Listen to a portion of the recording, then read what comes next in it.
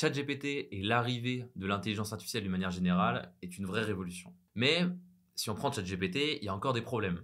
Déjà de 1, il y a peu de mémoire, c'est-à-dire que plus on avance dans une discussion, plus il va oublier ce qui a été dit au départ. Donc en fait, il ne gagne pas en pertinence avec le temps. C'est lié à une limite de mémoire qu'a GPT par défaut. Le deuxième, c'est que la data s'arrête à 2021. Alors que quand on fait de la tech, par exemple, on a besoin de data à jour. Eh bien, ces deux problèmes-là sont résolus avec AutoGPT, qui est un nouveau projet qui vient de sortir, qui permet, un, de se connecter à Internet, et donc de lui-même, il va aller faire des recherches Google en fonction des sujets que vous lui donnez. Deux, il va être capable d'absorber le contenu des sites qu'il ouvre et d'apprendre de même. Trois, il va avoir une gestion de la mémoire à court terme et long terme. Ce projet magique s'appelle AutoGPT. C'est un projet qui est open source et qui est en train d'exploser sur GitHub. Ce tutoriel, je l'ai fait sur Windows en partant du principe que la plupart d'entre vous allez être sur Windows, mais pas de panique. Moi, personnellement, j'utilise un Mac. Tout ce que je te montre fonctionne exactement de la même façon sur Mac. Premièrement, tu vas avoir besoin d'installer quatre choses sur ta machine. Le premier, c'est Python. Python, c'est le langage de programmation qui est utilisé par AutoGPT. Deuxième étape, on va aller télécharger AutoGPT et faire une installation en automatique liée au premier programme qu'on aura installé. Troisième partie, on va aller connecter OpenAI à notre outil AutoGPT.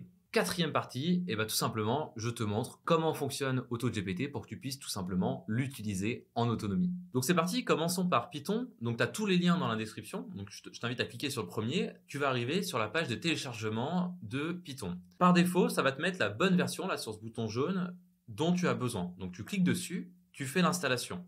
Hyper important, quand tu ouvres l'installateur, tu as une petite case à cocher tout en bas qui te dit est-ce que tu veux ajouter python.exe au PAF? Hyper important, coche cette case, sinon ça ne fonctionnera pas. Et ensuite, tu peux cliquer sur installer et tout faire par défaut. Ensuite, on va passer à l'installation de Visual Studio Code. Pareil, tu as un bouton qui normalement correspond directement à ta version. Donc tu peux l'ouvrir. Et là, il n'y a rien de particulier, faut suivre toutes les étapes une à une. Si tu veux, tu peux cocher ces deux cases, ça fera que quand tu ouvriras du code par défaut, tu seras bien sur Visual Studio Code et tu finis l'installation. Derrière, on va installer la petite extension sur Visual Studio Code. Donc là, il suffit de venir cliquer sur le bouton, cliquer sur Open Visual Studio Code et de cliquer sur le bouton installer. On passe à l'installation de Git. Donc là, il y a deux liens en fonction de si tu es sur Mac ou si tu es sur Windows. Donc là, sur Windows, on va télécharger la version 64 bits de la version standalone du, euh, de Windows. Donc c'est le deuxième lien. Et là, rien de particulier, on va faire Next. Sur l'éditeur par défaut, on va mettre Visual Studio Code qu'on vient d'installer. Et puis, on passe à la suite. À part ça, on va tout faire par défaut, donc on peut faire Next à chaque fois. Donc bonne nouvelle, on a fini l'installation des logiciels nécessaires à AutoGPT. Maintenant, il va falloir télécharger AutoGPT. Donc on va aller sur la page GitHub du projet. Pour aller accéder à la dernière version stable du projet, on va cliquer sur le lien et on va aller venir scroller tout en bas. De là, on va cliquer sur le petit fichier source code avec entre parenthèses zip. Donc ça nous télécharge un dossier qui est compressé en .zip. Sur Mac, c'est assez facile, il suffit de double-cliquer dessus et ça vient décompresser le dossier pour en créer un nouveau. Sur Windows, on va pouvoir utiliser quelque chose comme WinRAR pour ouvrir ce fichier compressé, prendre le dossier non compressé et venir le mettre là où on veut. Dans le cas du tutoriel, je l'ai mis sur le bureau. Vous pouvez le mettre où ça vous arrange du moment que vous sachez le retrouver. Ensuite, normalement, vous avez Visual Studio Code qui est déjà ouvert. Si c'est pas le cas, eh ben, vous allez l'ouvrir via le menu démarrer. Ensuite, vous allez cliquer sur les trois petits traits en haut à gauche, cliquer sur Open Folder et aller chercher le dossier qu'on vient de mettre sur son bureau ou ailleurs. Là, on touche presque le bout de l'installation. Il nous reste deux choses à faire. La première, c'est d'aller connecter GPT à notre programme. La deuxième, c'est d'appeler ce qu'on appelle les dépendances. Bref, c'est juste de lancer un fichier qui va nous permettre de tout paramétrer par défaut sans qu'on ait rien à faire. Et puis bah, la troisième, c'est de jouer avec. Donc vous allez aller sur le site platform.openai.com. Ensuite, on va aller générer la clé d'API. C'est un peu le mot de passe pour pouvoir accéder à AutoGPT, qui est dans la description aussi. Sur le tutoriel, je suis déjà connecté à mon compte. Si ce n'est pas le cas, vous cliquez en haut à droite sur se connecter où ça vous invitera à vous connecter directement. Soit vous vous créez un compte si vous n'avez pas de compte GPT, soit vous vous connectez directement. Une fois que c'est fait, vous allez cliquer sur View API Keys. Alors pour ceux qui ne savent pas ce que c'est une API, Une API, c'est un service externe qu'on vient venir brancher sur son service interne. C'est un peu l'équivalent de si on a une maison, on a tout son système électrique, etc. Si on veut faire griller du pain, bon, on va pas essayer de bidouiller son, service électrique pour créer un grille-pain intégré directement. On va juste faire une prise et venir acheter un grille-pain qu'on vient connecter à notre prise qu'on a développée. Et eh bien là, dans ce cas-là, l'API, c'est le grille-pain. Notre application, c'est toute la maison et le système électrique. Et donc, on vient brancher l'API à notre service. On vient brancher le grille-pain notre maison. Donc OpenAI qui est derrière ChatGPT nous met à disposition une API qu'on peut venir connecter à des services comme AutoGPT. Faut avoir en tête que ça a un coût. Le coût il est relativement faible, mais il faut vous attendre, si vous jouez beaucoup avec, à dépenser potentiellement une dizaine de dollars. Il faut que vous mettiez une carte de crédit dès le départ, parce que sinon vous ne pouvez pas brancher cette API. Vous allez aller cliquer sur Overview, et donc là vous voyez sur le tutoriel, moi j'ai Pay as you go. Normalement, vous n'avez pas ça. Pour ça, il va falloir que vous rajoutiez une carte de crédit. Donc, vous cliquez sur Payment Methods dans la barre à gauche et vous allez rajouter votre carte de crédit. Une fois que ça c'est fait, tout de suite on va venir mettre des limites. Pourquoi? Parce qu'on n'a pas envie que s'il y a un bug ou autre, que vous vous retrouviez avec une facture de 1000 dollars à la fin du mois. Donc, on va cliquer toujours dans le menu à gauche sur Usage Limits et vous allez aller mettre les limites que vous souhaitez. Il y a deux types de limites. La hard limit, ça veut dire quoi? Ça veut dire que concrètement, quand vous allez dépasser cette limite, l'API ne vous renverra plus rien, ça sera bloqué. La deuxième, c'est la soft limit, c'est tout simplement une notification que vous allez recevoir quand vous allez dépasser cette somme-là. Donc, vous pouvez mettre 10 et 6 dollars, par exemple 10 en hard limit et 6 dollars en soft limit. Vous pouvez mettre autant que vous voulez, euh, c'est à vous de choisir. Ensuite, on va aller générer la clé d'API qu'on va aller donner derrière à AutoGPT. Donc, pour vérifier que ça s'est bien passé, vous cliquez sur Overview et normalement, ça y est, vous êtes passé en Pay as you go. Ensuite, vous allez cliquer sur API Keys. Ensuite, vous allez aller cliquer sur le bouton Create New Secret Key. Dessus, vous, pouvez la nommer. Donc, je vous conseille de la nommer AutoGPT puisque c'est à ça que vous allez euh, vous connecter. Moi, je l'ai appelé Tuto GPT parce que je l'ai déjà fait, ce, ce truc-là. Et donc là, ça vous ouvre une clé que vous allez aller copier. Ensuite, on va revenir sur Visual Studio Code avec AutoGPT qu'on a déjà ouvert. Il y a un fichier qui s'appelle .env.template. Ce fichier-là, vous allez commencer par le renommer de .env.template à .env tout court. Dans ce fichier, on va venir faire deux changements.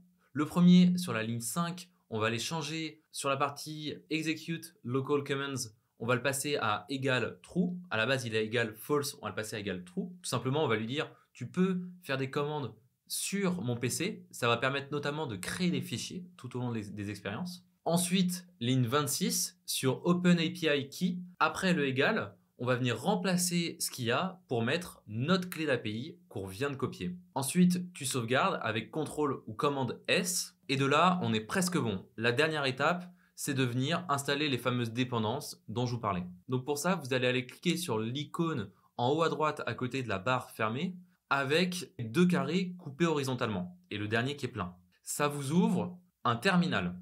Ensuite, vous allez aller taper la commande pip install du 6r requirements.txt. Si vous n'avez pas envie de faire de faute, vous pouvez commencer à taper REQ et, et appuyer sur la touche Shift qui va directement vous faire le lien. De toute façon, la commande est dans la description. Derrière, vous verrez, ça va vous installer tout un tas de trucs. Là, c'est des installations qui sont en train de se faire directement dans votre terminal. Il vous reste qu'à attendre quelques secondes ou quelques minutes. Et après ça, on est bon, on va enfin pouvoir jouer.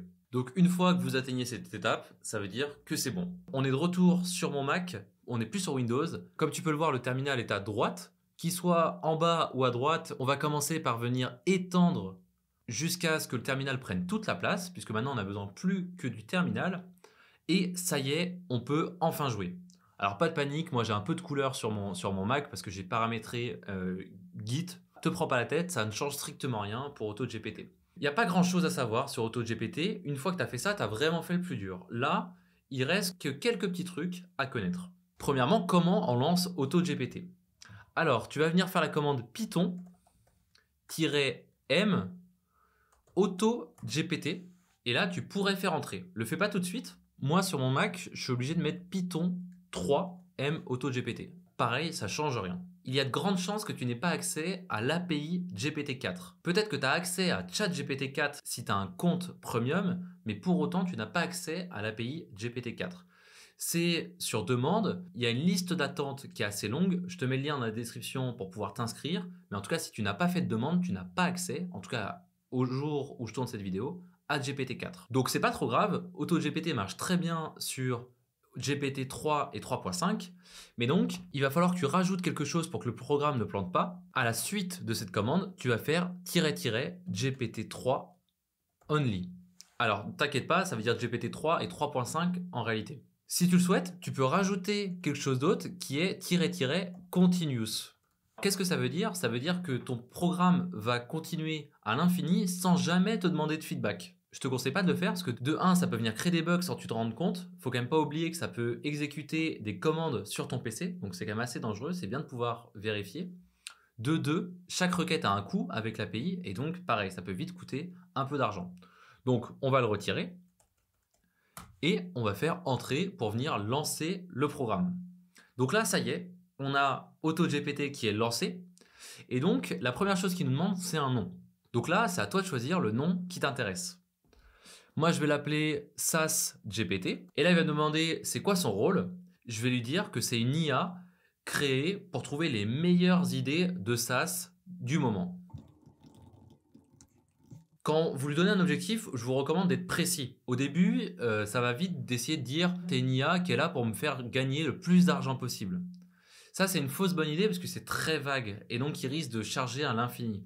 Dites-lui plutôt t'es une IA qui est là pour construire le spectre fonctionnel d'un SaaS sur cette idée ou ce que vous voulez, mais d'une manière générale, quand vous faites de l'intelligence artificielle, plus vous êtes précis, mieux c'est. Donc sur AutoGPT, vaut mieux lancer quatre fois le programme sur des sujets différents plutôt qu'avoir un truc trop vague. Ensuite, tu vas quand même pouvoir spécifier jusqu'à 5 objectifs. Donc, on va euh, lui donner un premier objectif. On va lui dire euh, trouve-moi 10 idées de SaaS qui sont rapides à construire et qui pourraient générer beaucoup d'argent.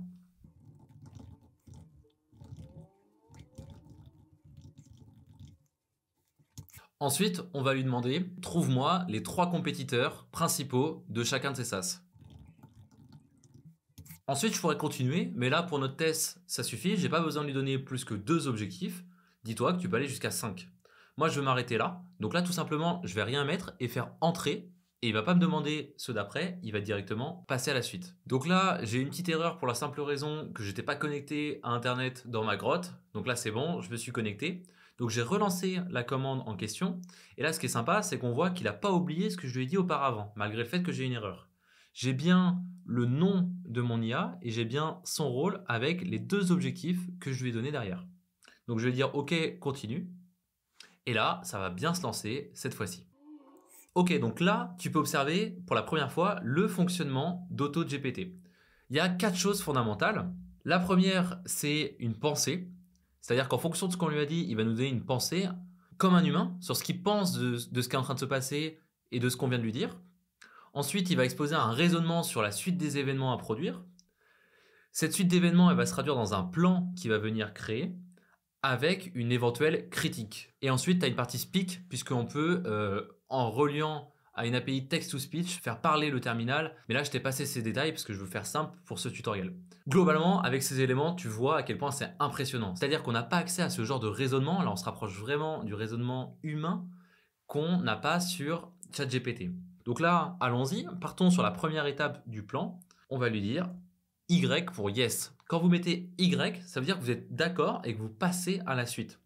Grosso modo, vous avez trois étapes à chaque fois qui fait quelque chose et qui vous demande un input. Première étape, faire Y pour yes. Deuxième étape, lui donner un feedback écrit. Troisième étape, faire N pour quitter le programme. Sachez que si vous voulez, vous pouvez faire Y-5 ou tirer le nombre que vous voulez. Et en gros, ça veut dire quoi? Ça veut dire pour les 5 prochaines fois où tu vas me demander des inputs, je te répondrai Y en automatique. Le faites pas trop parce que vous pouvez pas revenir. C'est-à-dire qu'au bout du troisième, vous pouvez pas vous dire ah bah non là maintenant je veux parler, ce sera trop tard. Il y aura encore deux fois de plus puisque vous avez mis y-5. Donc là on va juste lui mettre y et on va faire entrer. Donc là je vois son raisonnement, il veut aller encore plus loin sur les idées de SAS Et surtout, il me propose de créer un agent, ça c'est la prochaine action qu'il me propose, qui s'appellera SaaS ID Generator. C'est quoi les agents? C'est des sortes de silos qui répondent à des besoins uniques. Donc là, il est en train de me créer un silo pour générer des idées. Peut-être qu'après, il me fera un silo pour évaluer ces idées ou pour, euh, je ne sais pas, trouver les compétiteurs. Pourquoi il fait ces silos? C'est parce qu'en fait, ça reviendrait à tout classer dans des dossiers de sorte à ce que, à ce que ça parte pas dans tous les sens et qu'il s'embrouille pas. Donc là, je vais dire, OK, crée ton, crée ton agent, Y. Donc là, il est en train. Donc là, je vois déjà les réponses qu'il commence à me faire. Donc là, je peux commencer à creuser. Je vois qu'il me faire une sorte de, calendrier, donc de, de, de, SaaS pour, euh, pour aller gérer mes rendez-vous. Euh, un outil de gestion des réseaux sociaux, un outil d'email marketing, un, outil de gestion de projet. Donc on voit qu'il est relativement pertinent. Ok, donc là c'est intéressant. On voit qu'il vient de générer des idées et il me dit maintenant que j'ai une liste d'idées potentielles de SaaS, j'ai besoin de faire des recherches pour savoir c'est quoi la faisabilité et les compétiteurs potentiels. Donc là pareil, c'est quelque chose qu'on aurait dû faire manuellement suite à des idées qu'on aurait pu générer via ChatGPT. Et bien là, il va nous le faire tout seul pour nous. Donc là, il me propose de faire une recherche Google. Donc il demande directement c'est quoi la faisabilité et les compétiteurs des logiciels de gestion d'agenda pour les petites entreprises. Donc là, je vais dire Y. Donc là, qu'est-ce qu'il fait? Il a fait cette recherche et là, il vient me retourner les premiers sites qu'il trouve sur Google suite à cette recherche. Donc, généralement, suite à ça, qu'est-ce qu'il vient faire? Il vient prendre un des sites. Souvent, il prend le premier site, mais ça dépend. Des fois, il estime qu'ils ne sont pas pertinents. Là, c'est le cas. Il n'a pas pris le premier site. Il a pris un des sites de cette liste et il va essayer de l'ouvrir pour scanner son contenu. Donc là, je vais dire vas-y. Et là, on le voit, j'ai un site qui vient s'ouvrir en automatique.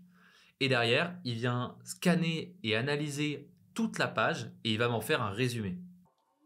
Faut pas s'inquiéter si vous voyez des pop-up qui s'ouvrent pour les cookies ou autres, ça perturbe pas le fonctionnement d'AutoGPT, il va scanner ce qu'il y a derrière. Donc là c'est bon, il a fini de scanner le site, il commence à me dire son analyse du site, et donc là typiquement il me dit bon bah apparemment ce site-là n'est pas n'est pas pertinent pour, euh, les, pour un logiciel de gestion d'agenda. Donc, il va refaire une recherche Google. Donc, on va lui dire, OK, vas-y. Donc là, c'est marrant. On voit qu'il m'a trouvé Calendly, qui est un des, a priori, qui est un des vrais compétiteurs pour un, logiciel de gestion de l'agenda. Donc là, il va ouvrir un des sites. On va lui dire OK. Donc là, pareil, il vient scanner mon site. Donc là, c'est intéressant. Je vois qu'il m'a trouvé une ressource assez pertinente. G2, c'est un des sites qui compare justement des logiciels entre eux. Donc là, on imagine qu'il va essayer de se faire une idée peut-être des top compétiteurs et de leur positionnement. Donc là, il me le dit, il me dit, OK, ce site propose euh, des informations sur plusieurs logiciels de gestion d'agenda. Mais il dit, ça ne fournit pas une liste spécifique des top compétiteurs. Bon, on va, on va pas lire tout, euh, tout ce qu'il nous dit. Je vais te montrer juste un dernier truc qui est intéressant. C'est que là, je vais lui dire, sauvegarde ces résultats dans un fichier. Alors là, c'est un des bugs. ça arrive, des fois, quand on lui donne des feedbacks, il il, ne les comprend pas. Donc, auquel cas, on a ce type-là d'erreur. Si ça, ça t'arrive, c'est pas grave. Il suffit de cliquer sur Y pour passer à la suite. Et généralement, il va revenir là où on l'a quitté avant. L'autre chose qu'il faut pas que tu aies peur, c'est que des fois, AutoGPT part dans un, dans un sens que tu lui as donné ou pas. Et des fois, d'un coup, il va revenir en arrière ça lui arrive de temps en temps, c'est pas trop grave au départ. Il est parti dans une direction, il ressent le besoin de finaliser une autre direction avant de pouvoir retourner sur cette direction. Par contre, si tu vois que constamment il revient sur les autres sujets et qu'il stoppe d'avancer, c'est potentiellement que tu es rentré dans une boucle et qu'il faut que tu lui donnes un bon feedback pour qu'il sorte de là, ou potentiellement que ça marche plus et que tu dois terminer ton programme pour relancer. Généralement, quand, il se passe ça, c'est que tu as été vraiment trop vague dans tes requêtes. Et donc là, c'est intéressant, au final, il a fini par comprendre ma requête et il me dit OK, je vais sauvegarder dans ton fichier les dans un fichier les compétiteurs potentiels. Donc là, je vais dire Y. Et là, il me dit qu'il a bien écrit un fichier avec succès. Donc, où est-ce que se trouvent les fichiers qu'il vient d'écrire Il se trouve là dans ce dossier qui s'appelle AutoGPT ou underscore workspace. Donc là, on va venir l'ouvrir Et là, je regarde, j'ai un fichier texte qui vient de se créer avec tout avec certains des compétiteurs potentiels pour mon logiciel d'Ajada. Bon, je vais pas aller plus loin pour ce tutoriel. Je pense que tu as tout ce qu'il te faut pour utiliser la magie d'AutoGPT. Je suis hyper curieux que tu me dises en commentaire l'usage que tu en fais toi, que ce soit pour ton business ou pour du perso d'AutoGPT. Moi, je vais illustrer différentes manières que j'ai d'utiliser sur LinkedIn. Donc, n'hésite pas à me suivre dessus. J'espère que ce tutoriel t'a plu. Il est paru en avance pour ceux qui me suivent sur LinkedIn. Il va paraître dans quelques semaines sur YouTube. En tout cas, si tu regardes cette vidéo sur YouTube, n'hésite pas à t'abonner. J'essaie de faire tout un tas de sujets sur comment utiliser la tech pour créer des startups qui fonctionnent. Et surtout reparler à tes connaissances qui ont envie eux aussi d'utiliser AutoGPT. Merci d'avoir regardé cette vidéo et à très vite.